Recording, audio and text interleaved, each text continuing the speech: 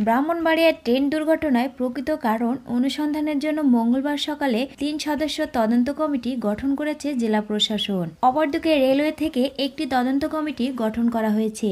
দুর্ঘটনার প্রকৃত কারণ অনুসন্ধানে অতিরিক্ত জেলা ম্যাজিস্ট্রেট মিতু মরিয়মকে প্রধান করে তিন সদস্য তদন্ত কমিটি গঠন করেছে জেলা প্রশাসন। এই কমিটিকে চব্বিশ ঘণ্টার মধ্যে তদন্ত প্রতিবেদন দিতে বলা হয়েছে। মঙ্গলবার ভোর তিনটার দিকে কসবা উপজেলার মন্দবাগ রেলওয়ে স্টেশনে আন্তনগর তুর্না নিশিথা ও আন্তনগর উদয়ন এক্সপ্রেস ট্রেনের মুখোমুখি সংঘর্ষে এ দুর্ঘটনা ঘটে।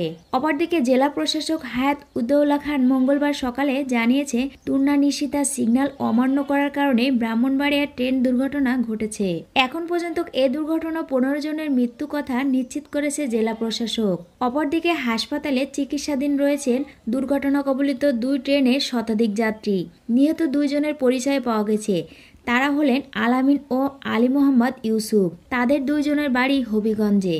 এদিকে খবর পেয়ে ঘটনাস্থল পরিদর্শন করেছে রেলওয়ে সচিব মোহাম্মদ মোফাজ্জেল করিম, জেলা প্রশাসক হায়দুদ্দৌলা খান, পুলিশ সুপার আনিচুর রহমান। ষাট BGP Sultanpur ব্যাটালিয়নের commander lieutenant colonel Mohammad Iqbal Hossain.